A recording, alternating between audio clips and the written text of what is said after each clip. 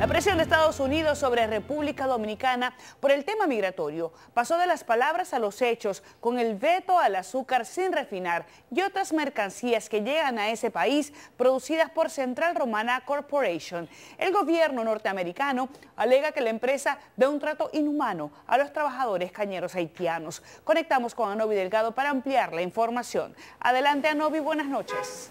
Gracias, buenas noches. La emisión de la orden de detención de descargo contra Central Romana por parte de oficiales de aduanas y protección fronteriza de Estados Unidos es aplaudida por el Coordinador Nacional de la Unión de Trabajadores Cañeros. Primero, estamos de acuerdo con esa decisión.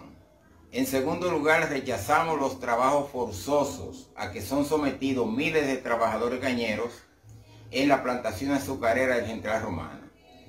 En tercer lugar, nosotros también rechazamos los bajos salarios y las no documentaciones para familias completas de trabajadores cañeros. Sin embargo, el diputado de la provincia de La Romana, Pedro Botello, rechaza el anuncio. No es cierto que las personas allí son maltratadas, eso, eso es falso de toda falsedad. Mientras, el encargado de negocios de la Embajada de Estados Unidos, Robert Thomas, justifica la medida.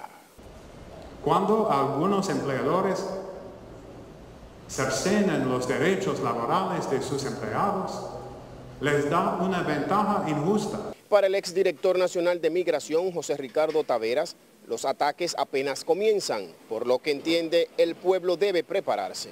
Es una eh, mentira más, una manipulación más, en el sentido de que no es cierto ni que esa empresa ni ninguna en la República Dominicana incurra en prácticas de trabajo esclavo con ciudadanos haitianos.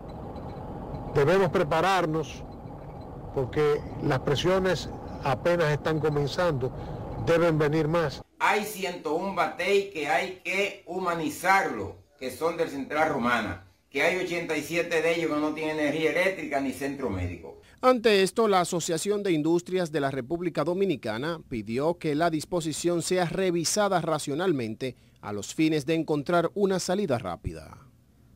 Antes de tomar esta medida debieron venir a visitar realmente y conocer los batalles que tiene Central Romana. Yo conozco los batalles de Central Romana y tienen condiciones, las mejores condiciones para vivir un trabajador de las cañas. De su lado, Central Romana Corporation, a través de un comunicado, manifestó que recibió con gran asombro la medida, explicando que los argumentos de los Estados Unidos no reflejan las políticas y prácticas de la empresa, ya que asegura desarrollan programas de responsabilidad social enfocados en la salud, educación, vivienda y alimentación de todos los trabajadores y sus familias.